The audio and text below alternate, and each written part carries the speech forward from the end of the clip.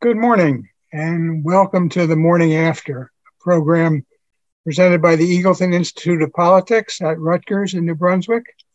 I'm John Weingart. I'm Associate Director of the Institute. Uh, this is a program we began at Eagleton in uh, this primary season of the year 2000. Since then, politics has just gotten stranger every year, but we've done this it has been an in person event for many years where people would come to Eagleton um, and a room full of people would discuss what happened in the day, previous day's election and what its implications were for both politics and policy. Our thinking in putting together these sessions was that most of the people attracted to it are political junkies of one sort or another and would be seeking out other people to discuss the election with, and we could help provide a, a, venue for that. We had these sessions in person until two things happened. First, we were able to live stream the events so that um, people could watch them who and who were not and participate in them who were not actually physically in New Brunswick. And then the pandemic came. So I hope that Eagleton will return to having these in person or in some kind of hybrid form in the future. But for today, we're happy that you're all here to discuss yesterday's primary and the 2023 legislative session and uh, policies in New Jersey, public policies as we go on. With us as a panel this morning are two legislators, Senator Steve Oroho and Assemblywoman, uh, excuse me, Assemblywoman Sadaf Jaffer, Jaffer, and three journalists, Terrence McDonald from the New Jersey Monitor, Colleen O'Dea, who will be joining us shortly. She's looking for a parking space, I think, um, from New Jersey Spotlight, and uh, Joey Fox from New Jersey Globe. Uh, so to get us started, I wanted to ask the two legislators if you could talk some about what your thinking was yesterday as um, as people who follow politics and as people who are in the legislature and have both chosen to uh, have this be your final term in the legislature. Senator, you want to go first? Sure. Well, John, thank you very much. Uh, can you hear me okay? Absolutely. All right. I thank you and uh, and I appreciate all the panelists being on and the Assemblywoman. I I was going to mention the same thing. The Assemblywoman and I are both not on were not on the ballot last night, so uh, or yesterday. So it, interesting enough, we probably had a little bit of a different feel of what it used to be over the past you know couple years for us, uh, you know, running. But um, you know, last night was kind of interesting. I was obviously I'm up in the northwest corner of New Jersey, uh, District 24, which is all of Sussex, um, you know, Warren County and, and some Morris County. And quite frankly, one of the interesting things that we had up here was a, a commissioner race. You know, we had a commissioner race um, that uh, a young individual by the name of Jack DeGroot, he ran and it was interesting. His he didn't run against anything. He ran for a position. No negative advertising, no negative that I could see at all. And he won against a two-time incumbent and against another um, uh, an, another uh, uh, candidate as well.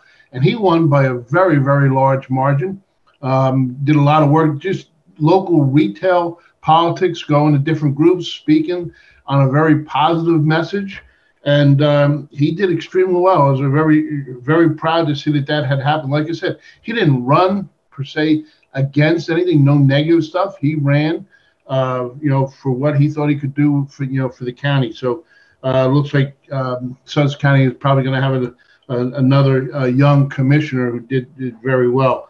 Um, the thing out here, the turnout out here, so and obviously it's it's all um, predicated on the number of you know contested races you had, and we did have contested races mostly on Republican side in Sussex County. We didn't have much of contested races on on the Democrat side, and and the turnout you know showed that. Like on you know on the Republican side, it was about you know a little bit more, about 22 to 23 percent, and on the Democrat side, it was about the you know the 12 percent because they had a lot less.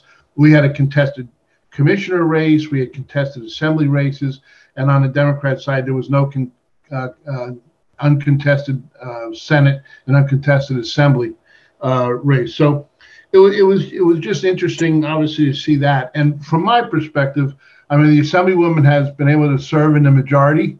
Uh, I've never. This is my 16th year in the legislature. I've never served in the majority in the legislature, um, and the importance of that, and obviously that's what we're going to continue to focus on.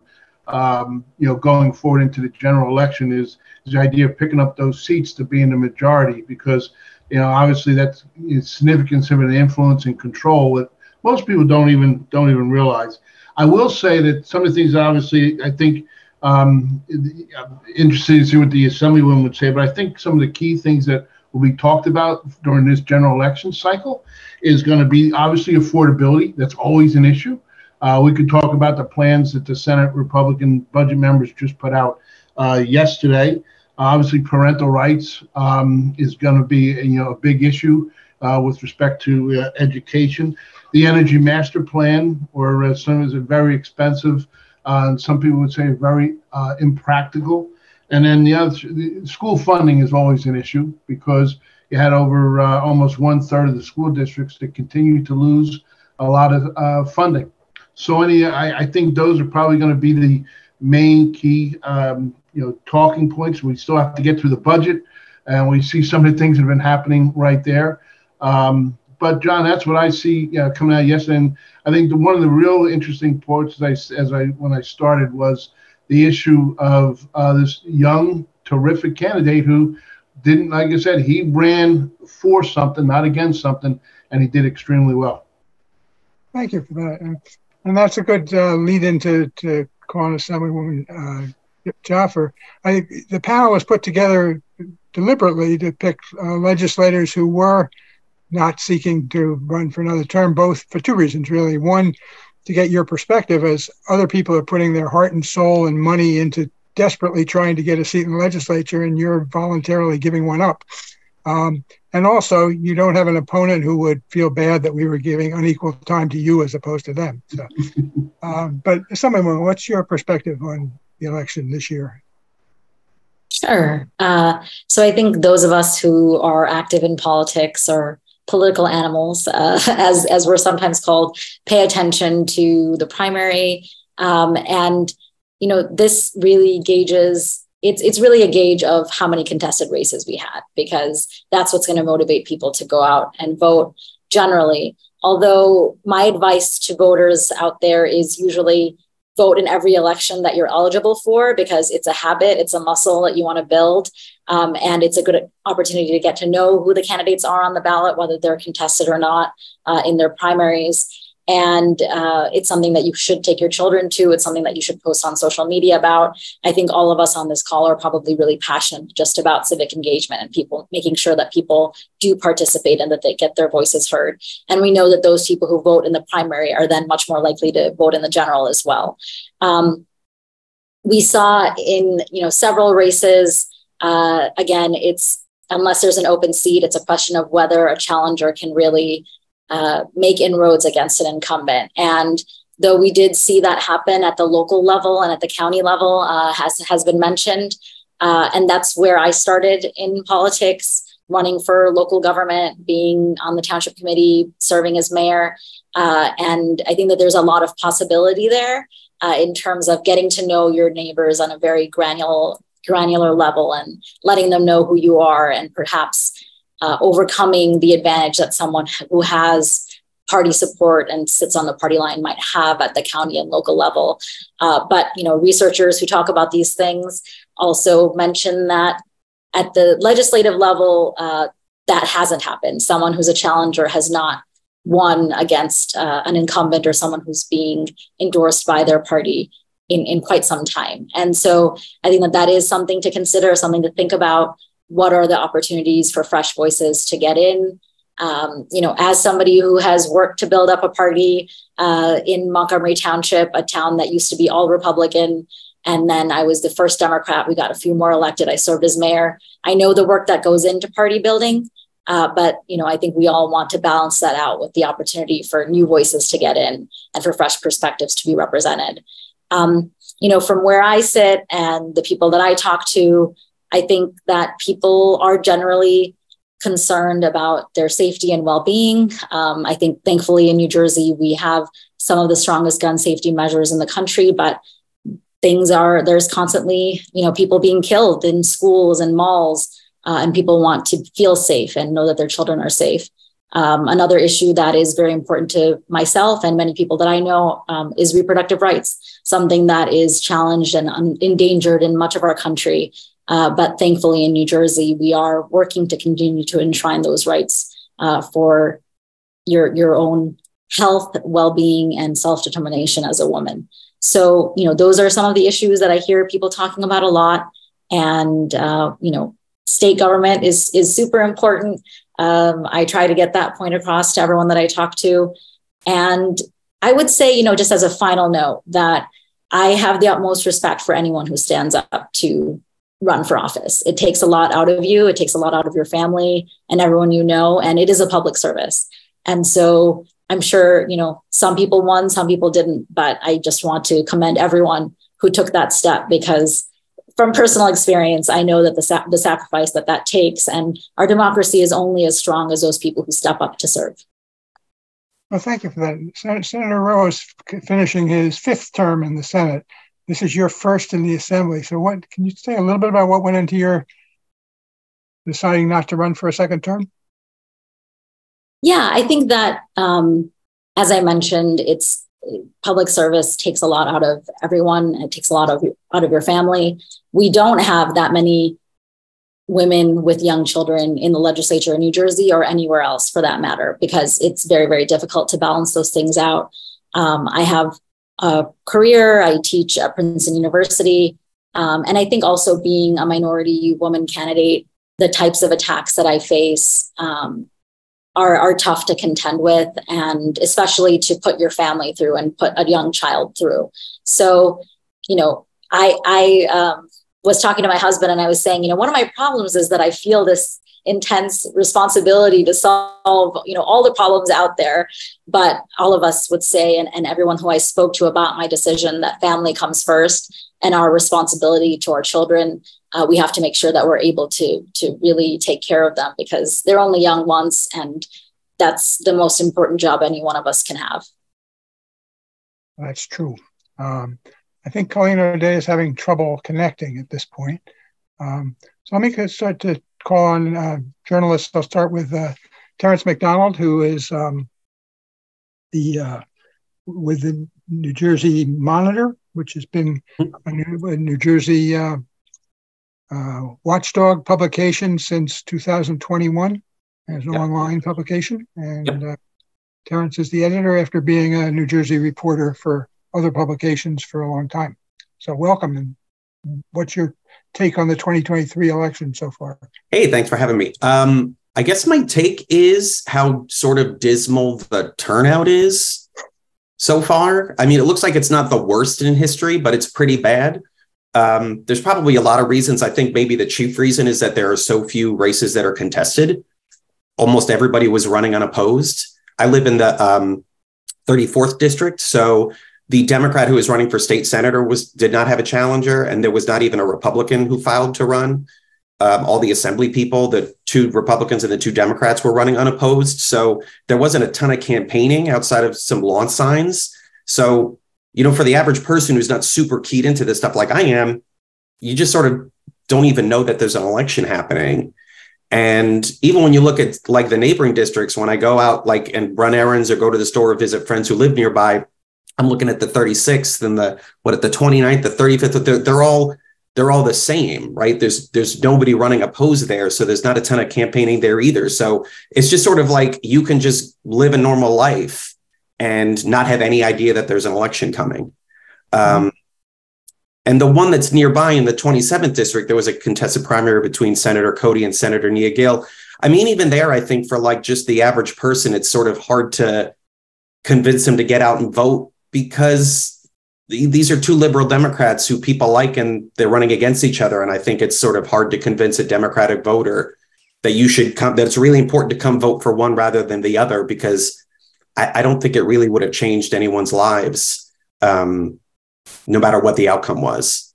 Um, so yeah, I think that's sort of the chief thing that I'm looking at is, is how dismal turnout is and and how I how responsible I think uncontested primaries are for that. Um, and maybe if you know every single legislative district had a real race, then there'd mm-hmm. be campaign signs everywhere. Candidates would be out on the streets because they'd actually be fighting to, to fighting for every vote, and it's just sort of invisible.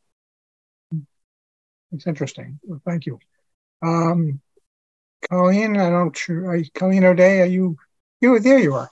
Uh, Colleen O'Dea has been a reporter in New Jersey for a long time, uh, primarily with the Morristown Daily Record, and has been with uh, New Jersey Spotlight though since 2011, and uh, is primary primary coverer of election news among other news. Welcome.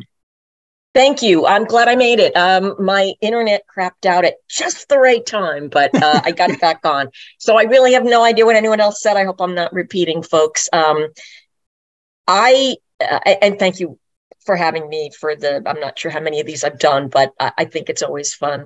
Um, there's there was literally one surprise, but like a tiny surprise for me. I mean, literally everybody who, save for, I think, um, Nick De Silva in the fourth, um, who was, who got a party line w- one election. Um, in De Silva's case, it was a split party line. So he had the, the line in Gloucester and um, Del Borello had it in uh, Atlantic and Camden. Um, the other fun thing there, of course, is that uh, George Norcross, who apparently has not, um, in fact, retired from trying to influence elections, uh, spent a bunch of money trying to defeat Del Borello, and oops, lost that one. Uh, Norcross has not had a really good um, track record in recent years. Um, but but save that, everybody who who got a party line got reelected. Um, incumbents got reelected. The only incumbent who lost was Nia Gill. And that's just because she ran against um, Dick Codey. She was the only incumbent who chose to, um, who was redistricting, redistricted into um, a, a district with a sitting incumbent who chose to run. So, you know, God bless her for trying. Um, and so she's the only one who lost. Um, but otherwise, every incumbent won. Um, the, the folks who had more money won. I mean, it was just, it was everything that we know about these elections. Um, you know, and to, to Terrence's point, when I went in to vote and I voted early, um, there, there was literally no one. There was no one at the state level. There was no one at the county level, and there were no, uh, in fact, in, in my town, there was nobody who filed for town council. So there was literally no reason for me to go vote. I just did it because I do it. Um, a lot of people probably do. Um, you know, I was talking to Governor Whitman uh, the other night at a WNET event, and she was saying open primaries and um, ranked choice voting are maybe two ways that we could kind of try to revitalize our primaries. Uh, so uh, those might be some things to look at, though I'm not sure that the parties would be terribly happy with open primaries. But um, clearly, when you've got like only half a million people out of you know more than like like six and a half million who are registered going out to vote, there's a problem. Thanks. And our, our fifth panelist is uh, Joey Fox, who uh, work writes for about politics for the New Jersey Globe, and previously was the editor of the Williams Record, the student newspaper of Williams College. Welcome, Joey. Thank you. My resume is not very long yet, so I kind of have to, to dig back into college immediately. Um, I guess I'm batting cleanup here, so I'll, I'll, do my best to sort of to wrap some various points from the other four panelists together. Um, I mean, I think that Colleen is 100% right in that this primary, like most New Jersey primaries, the winner was the county line. Um, I assume that everybody on this type of political junkie pa- panel and watching this knows what the county line is, but just in case you don't, it's a system that allows the county political parties, both Democrat and Republican, to select their preferred candidates and then have all of those candidates appear together on the ballot as one big unified slate. And it has both like literal impacts in the sense that when people are voting on their ballots, candidates who are aligned in the the party slate or the like the dominant looking slate are very much they just look like the candidates to vote for. And it also has sort of subtle impacts of candidates who have the party line um, will oftentimes discourage other candidates from even contesting the election to begin with and will scare away fundraising from potential other candidates. One thing I think is interesting since we've mentioned a lot of uncontested races, Assemblyman Jaffer and Senator Oroho, both of you are retiring, your seats, um, the 16th Legislative District Assembly seat and the 24th Legislative District Senate seat, neither of them drew contested primaries, even though it's an open mm-hmm. seat. Um, both had one Democrat and one Republican file. Um, so I think that that is pretty much always the story of New Jersey primaries. And last night was no exception. You really saw the county line, except for except for Gloucester, as Colleen mentioned, it was really dominant. and I think one primary where that was interestingly noticeable was in Senator Oroho's 24th district, where there was a contested assembly primary.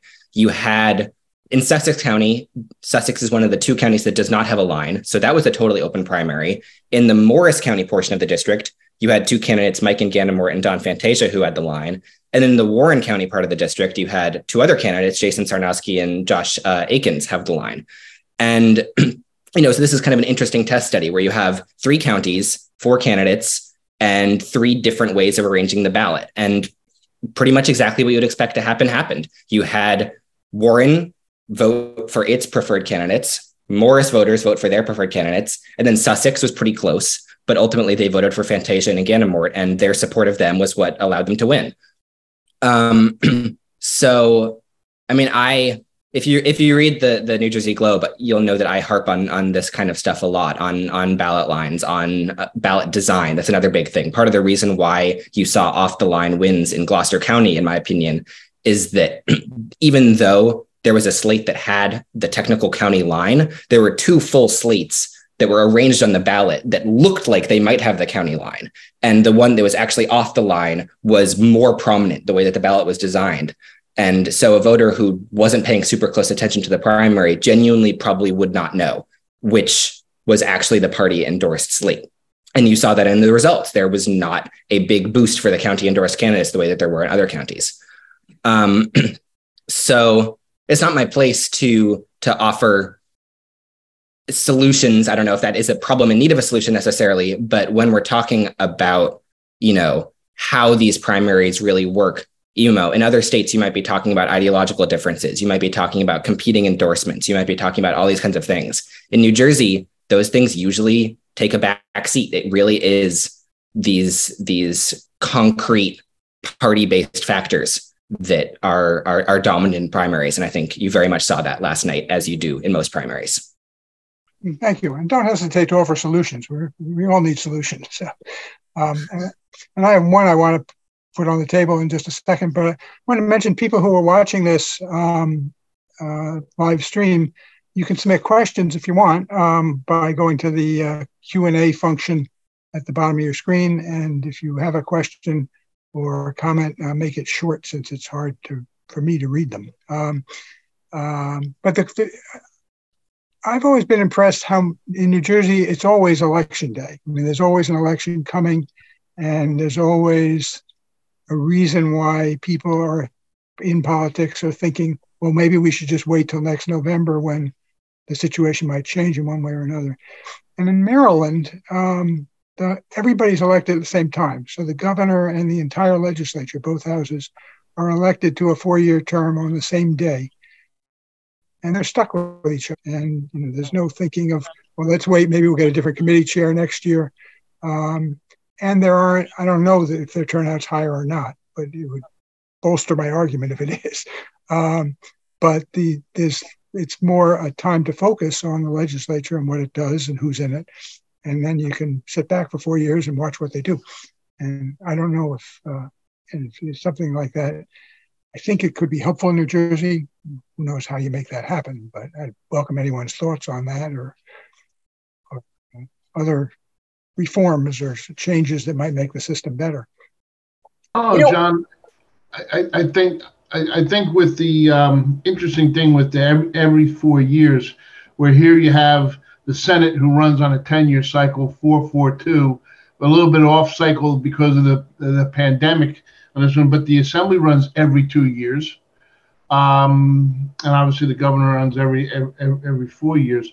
But I, I do think that that, you know, even, even though I would hate to think that if we waited every four years, what our participation rate would be then, you know.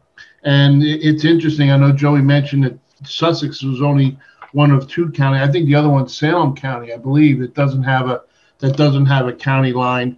And quite frankly, I get asked many times, you know, how come I wasn't pushing for a county line and whatnot. And I said, listen, I I, I quote unquote ran against the establishment when I first ran for for election both as a freeholder when they called them freeholders, now they're called commissioners, and when I ran for uh, uh, the Senate.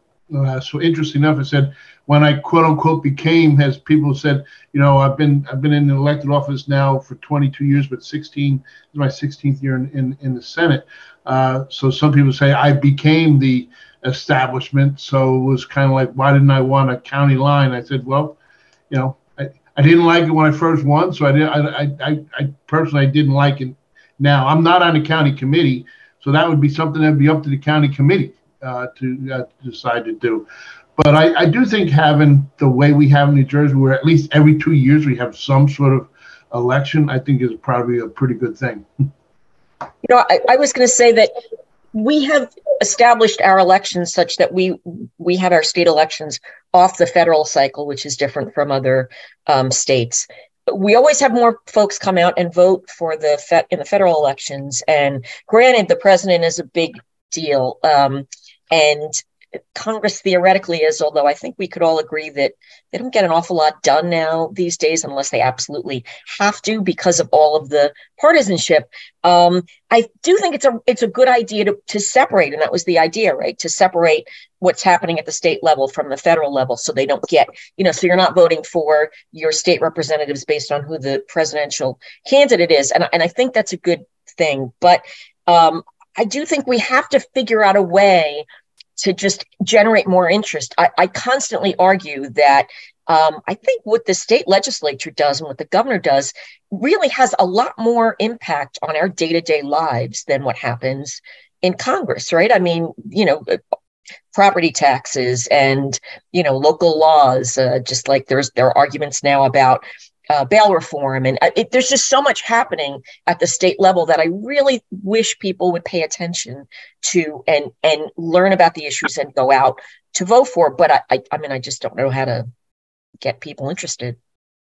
I have, I have a few thoughts. Yes, yeah, please. I think you know my basic message would be that voting should be simple because people have so many things going on in their lives the average person cannot dedicate hours and hours and you know every single year researching tens of candidates. It's, it's a lot for people. And so you know i do understand the the desire to decouple and that's why we have some elections that are local elections that are totally on different you know election days than even our state elections I think that an effort to have elections happen at the same time would be great. Like, I think if we were not off cycle, we would probably get a lot more people voting in state elections and maybe even knowing who their state legislators are because they can make that time. Um, it's also a reason why I don't think that ranked choice voting is the solution because I think that it complicates matters and it confuses people a lot of people wouldn't even rank beyond the first one. And then if the round goes beyond the first one, then their vote might not be counted. And things get complicated because there's an algorithm. And what if one person wins the absolute votes, but then ends up not winning the election? Again, that would is a confusing outcome that throws up, you know, the validity of the whole election to question for a lot of people. Because again, people don't have time to research a million things about every candidate. And I and I think you know there was a there's a very interesting question in the Q and A about you know in other parts of the country we see maybe more extremism um, in elected officials or in candidates than we do in New Jersey. And I do think that parties have a moderating effect on candidate on like the extremism that could emerge. Um, and I think that there is a place for people knowing who the vetted candidates are through the party, but again, we have to balance that out with it not being impossible for someone who doesn't have that to get recognition or to win. So that would just be, you know, something that I think about a lot. How can we simplify the process? How can we make it so that people who have a million worries in their lives and are just working hard to get to the next day can understand, can take the time, and that it's not an extra burden on them to participate and to exercise their rights to vote. that gets to one of the other questions that, uh, that uh, in the chat about how do you get information about local local races in particular in politics in New Jersey, and um, three of you are certainly part of the answer in terms of, and I don't know what your thoughts are in terms of the challenges of collecting that information and and getting and finding an audience that, or having the audience that would be interested in reading it find the Monitor, the Globe, Spotlight, several others that are out there. I mean, yeah. Oh, go ahead. Sorry.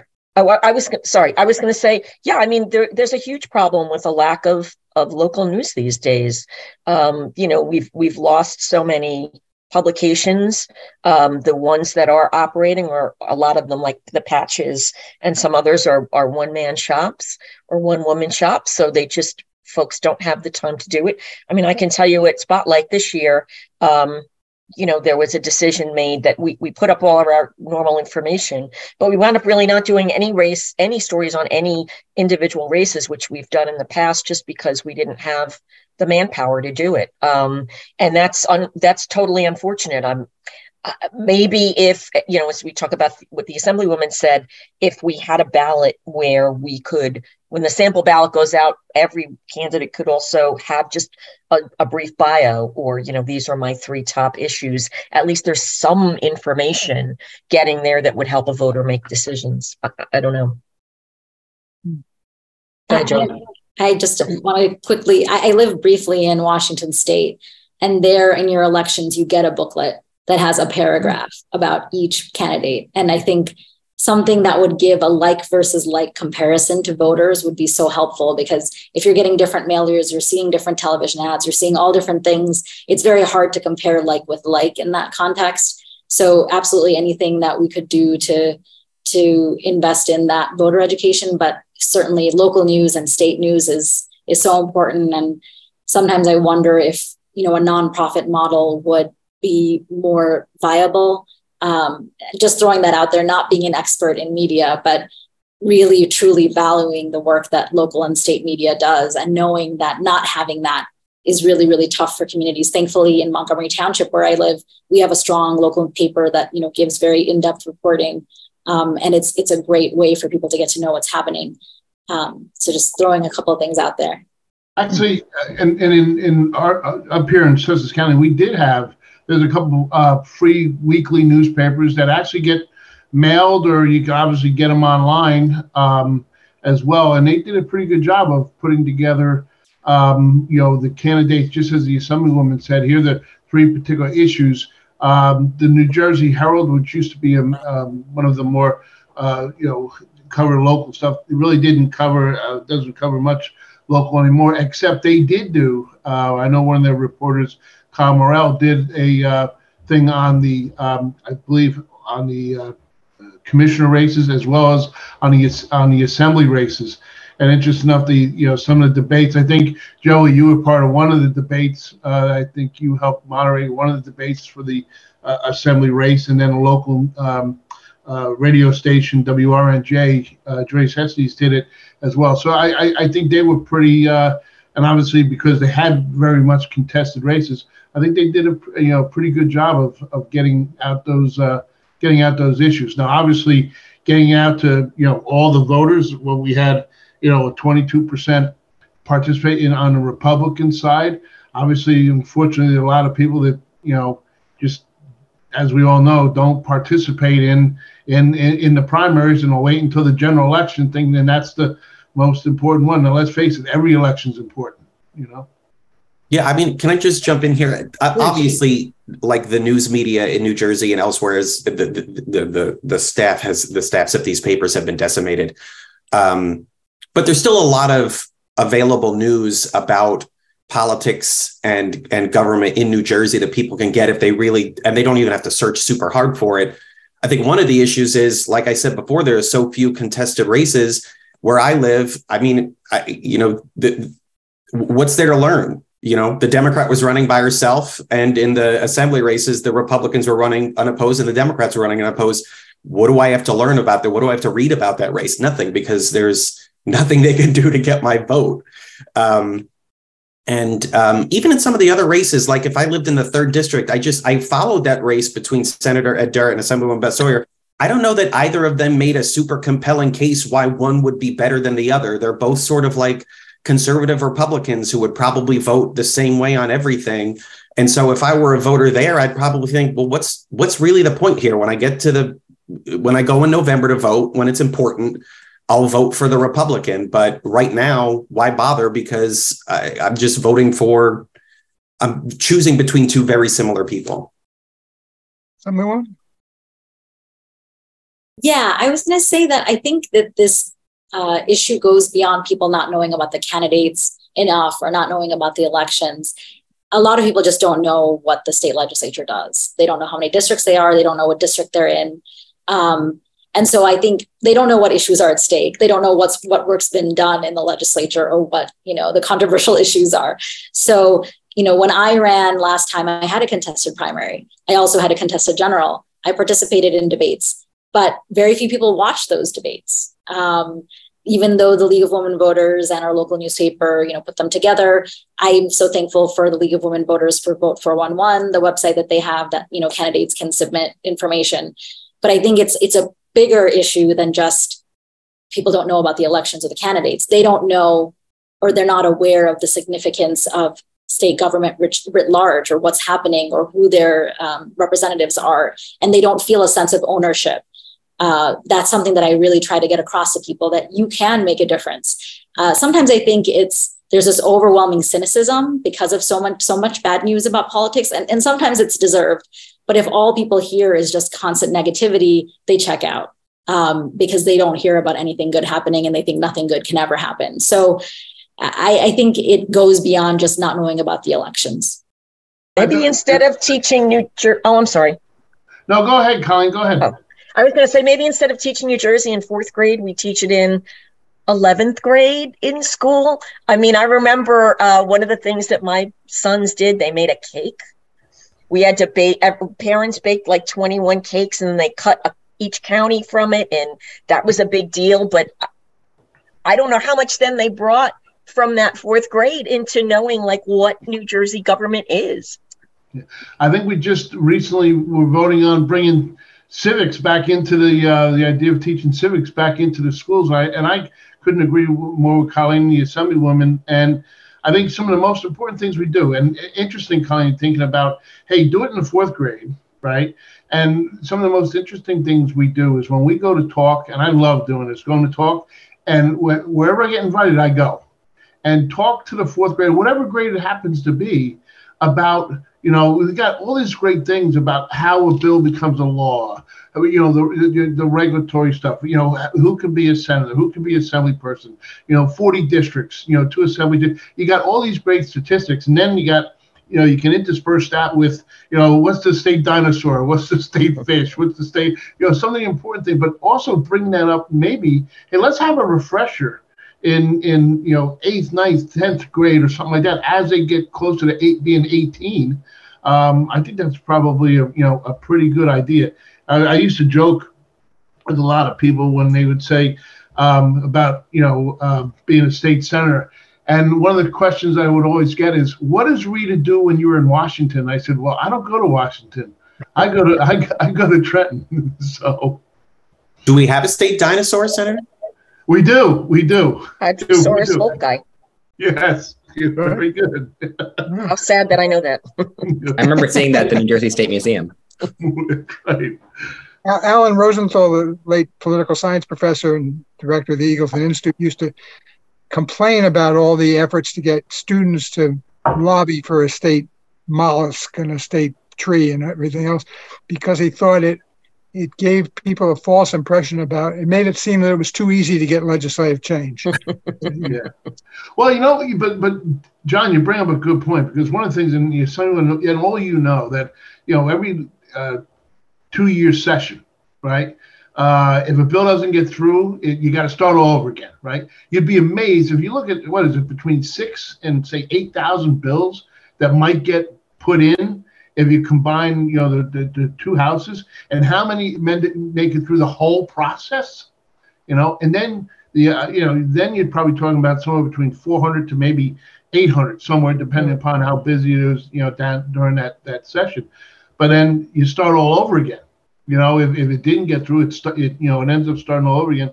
And then when you talk about hey listen you also have the executive branch with the regulatory side and then people start thinking about oh wait a minute i thought everything came through laws. Oh no no no it no. So it, it just gives us something good to talk about and the idea of talking about that at their level on, on the fourth i'd be really surprised at how well they do in the fourth grade about talking about things. And I think they probably need a refresher as they get older. People, a, a summary comment about New Jersey state government, and I'm sure in other places too, is that it's really just three people who make the laws. It's the Senate president, the Assembly speaker, and the governor. And I wonder for um, the two of you as individual legislators, particularly Senator Oroho, has been there a while, what you felt you've been able to accomplish in the legislature beyond constituent service, but in, in, influencing legislation as a member of the minority for all these years. Well, John, thank you very, and quite frankly, and I'm glad you bring up constituent service because the one thing I try to teach as well is that everybody thinks that it's the laws, everything get done, but quite frankly, when that phone rings, you get an email, you get something, some sort of communication from a constituent. That's the most really important thing that we do. We, you know, uh, you know, some somebody needs somebody needs some help uh, particularly, I'm, I'm sure the assemblywomen with you know the um, the unemployment situation, motor vehicle situation, all our offices were were inundated with with a lot of questions of people who just needed uh, needed help, and that's something that happens you know all the time. But being in a minority, the one thing that I always look to have, and, it, and it's interesting because you look at some of the relationships of us down Republican, Democrat. There's a lot of good close relationships across the aisle, and when I started my comments earlier about the importance about being a majority. I mean, obviously, the majority controls the, um, as you said, the, uh, the the Senate president, the speaker, and the governor are the ones that you know end up, you know, the president, the Senate president, and the speaker control the agenda for the each respective house. You got the committee members who are the uh, committee chair people who are the um, majority party. But being in the minority, the one thing I always tried to look for is somebody in the majority party who had the same kind of issue that I had for my district and try to partner with them. And and we would and quite frankly, many times that that was you know ended up being you know uh, pretty successful. But that's that's hey listen, let's say the majority gets to control a lot of things. So you got to try and find somebody who's has very similar issues uh, in their district and see if you can partner you know with them. And then the other thing is, as and the assemblywoman being in the majority, I'm sure it's uh, it's a lot better to be in the majority than it happens to be in the minority. That's for sure.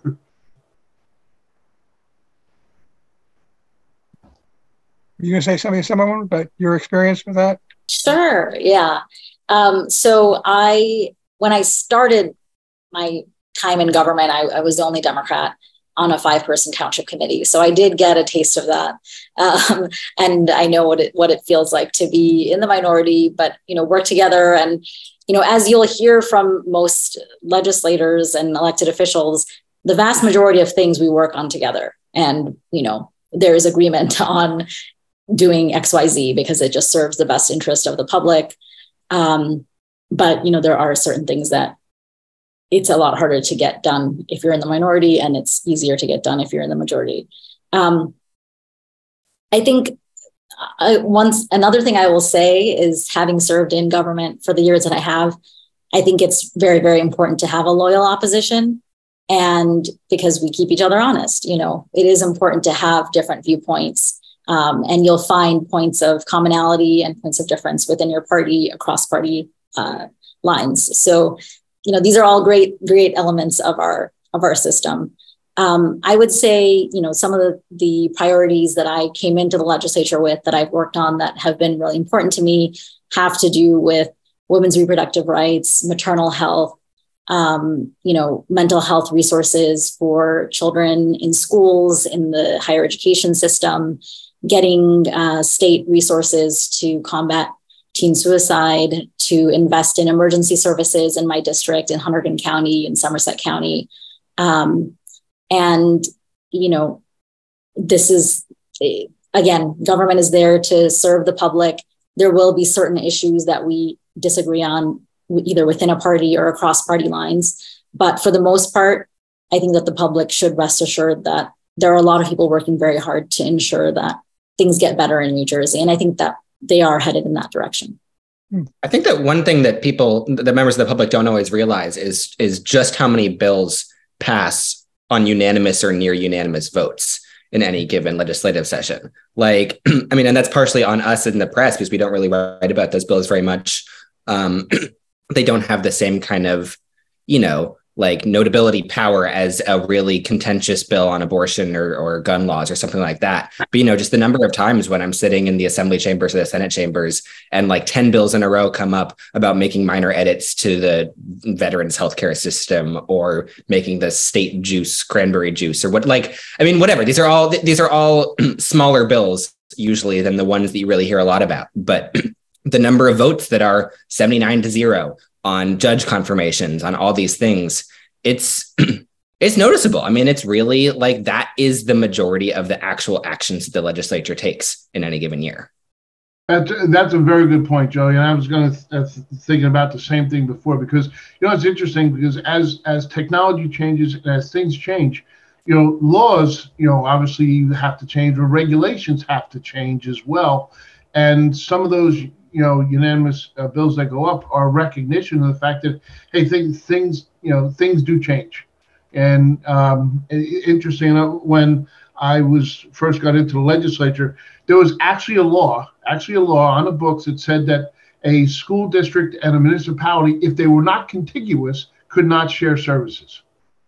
So why would we have why would we have such a law like that? So what we did obviously on a, on a bipartisan basis, and it probably was unanimous, we had to we had to change that law uh, because obviously with technology and and the um, focus on shared services, which I completely completely agree with, um, hey, we should try and foster as many shared services as, as you know as as possible. But there was actually a law in the books pro- prohibiting if you weren't contiguous. I want to move a little bit to talk about the the the short-term future of coming out of yesterday and going into the November election, and beyond that, the legislative session and politics in New Jersey between the rest of 2023 and into 2024, and the remainder of the governor's term. What do you, any of you, see happening, or you think should be happening in terms of issues to focus on, or possible possible openings to do something good or make a change? Subway. I, Does anybody? I mean, go ahead, go ahead, Senator. Who, who, who's that? Colleen, go ahead. Yep, go ahead, Senator. No, no, no. I went first before. You go now. All right. All right. Well, I, I, I think a few things which I said before. Obviously, the, the, the budget is going to be, uh, has to be, you know, before um, July 1st. Um, so obviously we're going that's going to be the uh, most near term right, right now. But then as you get into the November election, you're going to have you know, some of the issues obviously that we talked about before of the affordability. You have a lot of you know, talk right now about who's who's got the best uh, property tax relief plan that you know that there is. We all know that property taxes is a is a major major issue, and how school funding you know obviously flows into you know that property tax uh, issue. We've got a lot of cash in New Jersey. Uh, been there for you know uh, the ideas of how we could actually you know be, whether it be from the fund balance or whether it be from the um, uh, pandemic relief uh, money that still uh, has not been spent, or from the uh, debt defeasance and avoidance funds that have been, you know, put into uh, you know different fund classifications within the state budget. You add all those together, that cash right there is about 14 billion dollars. So the whole idea of how you have a plan that is sustainable and not creating new kinds of plants. So I think that's going to be it.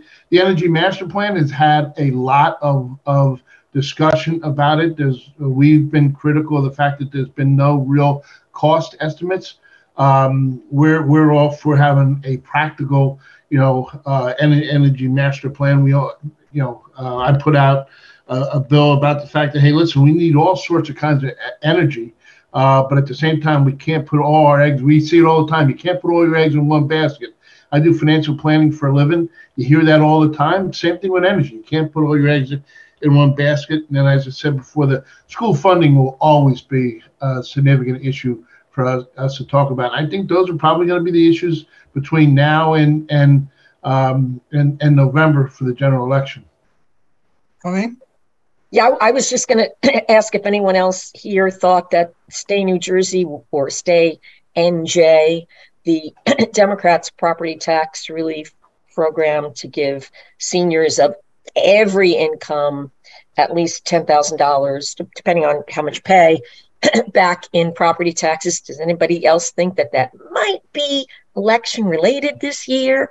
I mean, you, you know, you talk about the um, you, you talk about the loyal opposition. The Republicans have put forth their own plan, and suddenly, you know, we get what a couple weeks ago this plan from uh, Assembly Speaker Craig Coughlin that we want to help. Um, all seniors doesn't matter you could make you know you could have 3 million in income and you're going to get a break on your property taxes and just so happens, I think that senior citizens do a lot of voting. I, I, I don't know. Maybe I'm just being cynical here, but I think that's going to be a big point of contention. Yeah, prop, property taxes will always be a big, uh, obviously in New Jersey, a big point of contention. Um, you know, and until we actually address the real cost drivers there, um, with uh, with respect to, you know, the idea of the shared services, the idea of, um, you know, being more efficient at all levels of government is, is, critical. We put together a plan that say, hey, we got four four point three billion dollars of money sitting cash sitting in a debt defeasance and avoidance fund. Every municipality or county or something like this either has debt already on their books or is looking at projects that are uh, debt financing um, eligible. Why can't we get that money out right away? That right away would help you know, ease the burden on local municipalities and, and, and counties. And obviously that would help, um, you know, local property taxpayers. So, you know, listen, the idea of having these discussions about local property tax uh, issues, it, to me, is, is a good thing. Let's make sure that it's something, we had this issue in the energy tax receipts last year. 75 million in, in this current year budget that went back to municipalities. We were critical of the fact that it's in for one year, but there's no permanent going forward. And what happened, the governor took it out of this year's budget, which we said was absolutely going to happen. Now, if you look at it on a bipartisan basis, Republicans and Democrats have said, hey, listen, that's good property tax relief. We can get that money back, you know, to the municipalities right away. So I, I, obviously that's going to be a major issue. Um, and having it as in the forefront of discussion, I think is, is, is a good thing. Uh, I think that, you know, for me, we need to keep in mind uh, inequality in our state, that we have almost a million people in our state who live under the poverty line. What are we doing to address that? What are the investments that we're making in services that people use throughout our state? For example, our public transportation system. Uh, what are the investments that are being made in higher education? Um, what are the investments that are being made in our K through 12 education system? So you know, I'm definitely glad to see those investments in the proposed budget. Um, and, you know, keeping in mind that about 64% of our population lives in owner occupied residences. And so we do need to consider the needs of renters in the state of New Jersey as well. Um, and what are we doing for young people in the state of New Jersey? Those are those are the things that are top of mind for me. Um, our, our, hour has gone by really quickly. I want to ask one of the questions that's in the chat is very specific of who won the Middlesex County Commissioner's race. Does anyone know that? It's Leslie Koppel and Charles Tomaro, who are the the two incumbent commissioners. They won by a pretty big margin. And the record will show it was the, right. It was it was the Globe that knew the answer to that. Um, I want to ask uh, if the three journalists would have any closing comments you'd like to give we wrap this up? No, I'm just sort of curious. Uh, you know, when Colleen brought up this this property tax um, uh, plan, that if Democrats get it through, um, I'm sort of curious how Democrats who who fought for it are going to campaign on. I mean, I understand seniors vote, but there are people in their 30s and 40s and 50s who vote will not be eligible. So I'm sort of curious how they're going to campaign for please vote for me. I gave your wealthy parents a tax break, but you can't get one because you're not old enough. Um, it may not be as big a winner as they think, but you know, what do I know? Yeah, I think that'll certainly be uh, an issue in the election. Uh, I'd like to see that going forward. Um, I also see that the Republicans are bringing up an awful lot of other issues, things like, as the senator said, the energy master plan. Um, you know, we keep hearing about hearing about the offshore wind and the whale deaths. Um, I'm sure we're going to hear about uh, more school related issues and um, you know book book banning. I know that some people don't like that term, but there's an awful lot happening in the culture wars. So I think it'll be an interesting November election. I mean, what, so one thing I'll quickly say, since we've already talked about turnout, you know, there, there were there were some election years, particularly during sort of the, the Trump presidency, that were very much exceptional election years. Like 2018 and 2020 in particular, where you know turnout was very high, and and you know, just they, politics were not behaving as usual. I feel like this primary so far shows that 2023 is maybe politics kind of behaving as usual. Like this, I, am not sure if there's anything too exceptional going on. Turnout was not that high. Not many races were contested, or at least not more or less than usual, really. So, so right now, 2023 is off to a fairly unexceptional start. But it'll be interesting to see as these next five months go on, whether you know, as the 2024 presidential race goes on, as these other issues start to come up to prominence, who knows what will be the dominant issues of November? Whether something about this year becomes exceptional in that kind of way whether the 2025 governor's race becomes more and more prominent as yeah that is because we have uh, the tiniest attention span ever and we can't even focus on the current election. We have to always be focusing on the next one and the one after that. Um, well, well, well, thank you all. I guess um, the, the, I've been running, leading these programs uh, before after almost every New Jersey statewide primary and general election since, as I mentioned, since the year 2000. And I'm retiring from the Eagleton Institute this month. So I hope others at Eagleton will carry on this if it's a tradition or service or whatever it is. Election day is November 7th, I believe. So uh, come to this space November 8th and see what's here. But thank you all very much. And I hope everybody has a good summer and uh, apparently stays inside today and doesn't breathe. Yeah. Thank you. Thank you all. Thank you all. Thank you, everybody. And good luck, John. Good luck. Yes. We're going to miss you, John. Away, but thank you.